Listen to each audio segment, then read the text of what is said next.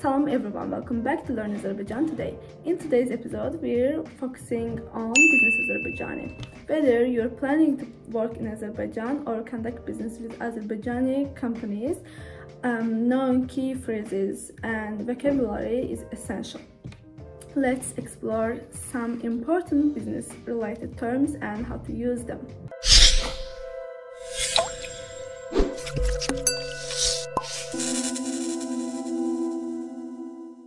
But before we get started, I want to remind you about our one-on-one Azerbaijani lessons.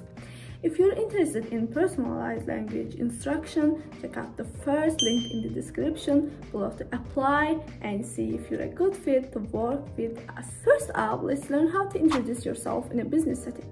You can start with Salam, mənim adım Rəyaladır. Which means, hello, my name is Rayala.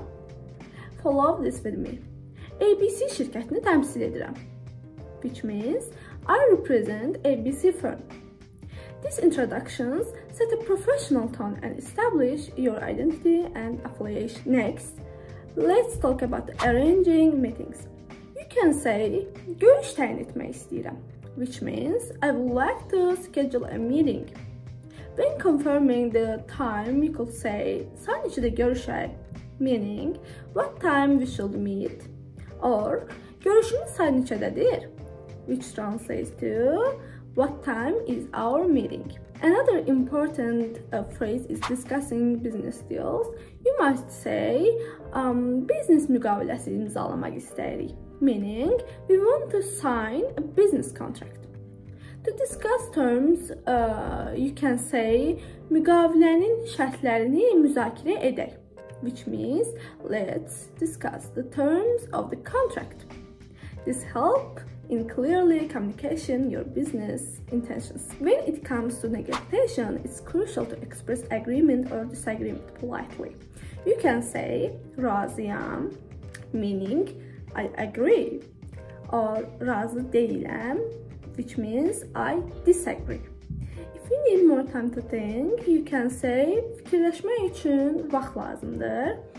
Meaning, I need time to think. Finally, let's cover how to close a business conversation.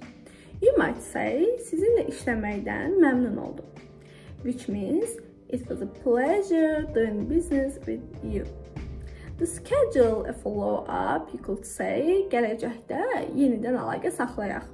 Meaning, Let's stay in touch for future opportunity. So there you have it. Essential phrases and vocabulary for conducting business in Azerbaijan. Mastering these terms will help you navigate business setting with confidence and professionalism.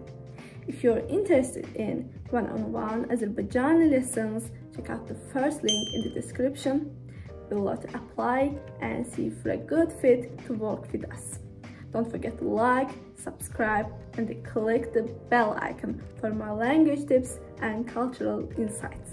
See you in the next video. Sağ